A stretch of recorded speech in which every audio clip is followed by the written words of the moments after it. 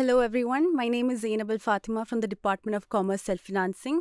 And today we have gotten this amazing opportunity to interview an exceptionally young talent, Raul John Aju, at the young age of just 14 years. He yes. has mastered such a complex topic of artificial intelligence and also has designed his very own robot to assist him in his classes being conducted in the United States. So we'll head right into it. Yeah, uh, sure. Hi. So, hi. So uh, I want to know, like, at, at such a young age even i have brothers of your own age how did you like what drew you into this topic of ai how did you like get that passion? So basically i've always been into technology from the time i know. Like i always like to make videos on youtube. I always mm. like video editing. I even took my phone like put whole ios into it not like iOS, like another Android version into my Android phone. Oh, okay. So, like full removing the software. So, I've always been into the current technology. So, I was like, what is coming next? So, that's when I figured out, okay, so there is something known as AI. So, it's like, what is AI? And it just blew my mind. Like, I used to edit videos for my YouTube that took around two months. Hmm. But with this AI, I was able to do it within like two days. So it's like, how? It increased my productivity from here to here.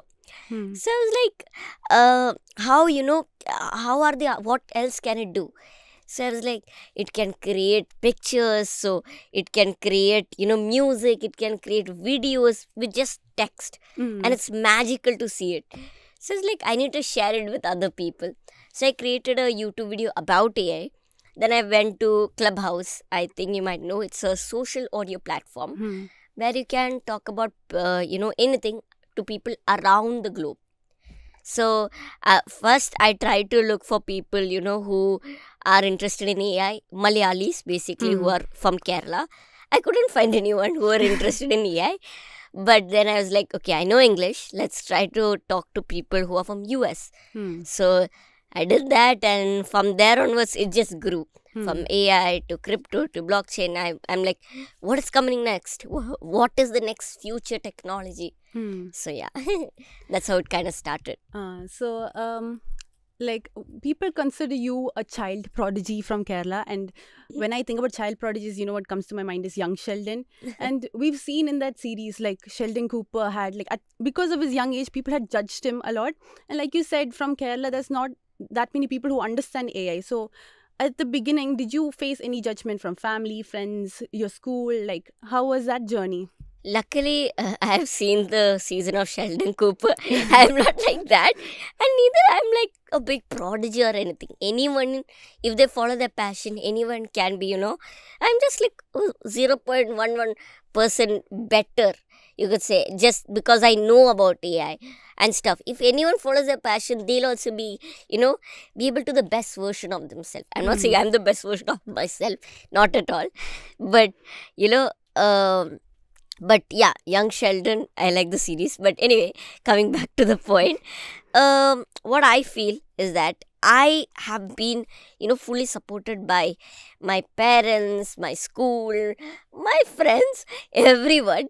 So, yeah, luckily, like young Sheldon, I have not been judged. Yes, a few times I have because of my height and all, but not because I know AI and stuff like that. Hmm. So, yes.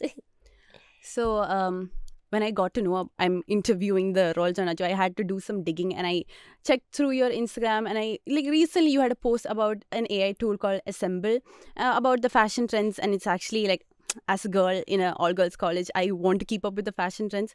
So adubole do you have any like uh, ai tools that you use on your own in your like daily life that helps you a lot? I know that you use it a lot for your editing and all that right? Yeah. I for my the thing is that i try to integrate edit uh, AI to everything that I do, mm. from editing to studies to, uh, you know, even like I said, picking my dress to anything, even uploading YouTube videos, I use AI. Editing YouTube videos, scripting YouTube videos. So everywhere, anything you give me, I try to use AI. so yeah, like there's a tool known as Flashka that mm. I hmm. use for studies. So yeah, a lot. so yeah, I use AI a lot. A lot. Okay. Um, there's a lot of misconceptions about AI when we talk about AI. It's a lot of people don't accept it very easily. So you do have like an educational background you teach a lot of students how do you clear up that misconception because a lot of people think ai is either a salvation or might lead to a destruction what is your opinion on that So what I feel, so what do you feel about, you know, will AI take your job? Or when you, uh, what you want to become? Will AI take that in the future? I think we adapt to everything. So similarly with AI also, I think how as as humans also we also adapt to it and we'll like it's it's like in a coexisting manner. Mhm. Yeah, it's actually, you got the answer, but basically when computers came, everybody is like, it's going to take a job. No, you know, no one will get employees. But w- the biggest companies in the world are tech companies. Google, they are giving employment to a lot of people. Then, you know, like more than before, we have lot of people who are employed because of computers. Mm, yes. so I very true. feel when AI comes, the same thing is going to happen Hmm. you know more people are going to get work but currently for the next 5 years they will lose work just like computers but yeah after that i'm pretty sure there'll be new job opportunities for people to you know use ai and do something Mm. so yeah You have been on multiple platforms at such a very young age. I've noticed you're a TEDx speaker. So, do you have any memorable experience that stands out where you can see someone's perspective genuinely change about AI? Anything that stands out like that?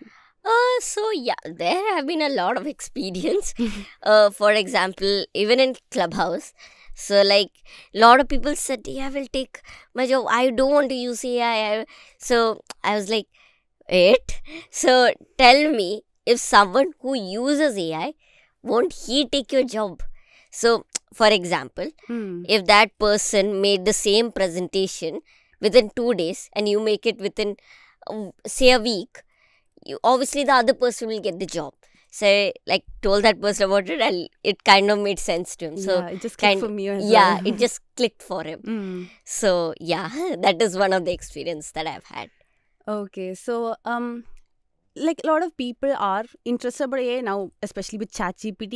എല്ലാവരും ഇങ്ങനെ മനസ്സിലായി തുടങ്ങി എന്താ AI എന്ന്. Yeah. So there are a lot of people who want to get into AI, but they don't know where to start. Like, how would you suggest like they start their journey? I would honestly just say, what is your interest? What is your passion? Because AI is literally an artificial brain. Hmm. Whatever you do, AI can be integrated into it. So imagine you're a painter. Use NVIDIA Crayon. Basically, it's a tool. Basically, you draw a mountain normally with a pen, like black, imagine, and it will turn into a beautiful mountain. So it's not like text to image, but you draw something and it enhances the image. Hmm. So anything that you do, AI can be integrated into it. Hmm. So yeah. So I think that's all we have today. Actually, you it has been a very very informative session, and. Uh, I'm very thankful to have been go- like to get the privilege of being able to interview you. Nothing like So that. Thank you so much for your time and patience. Thank you. Thank you.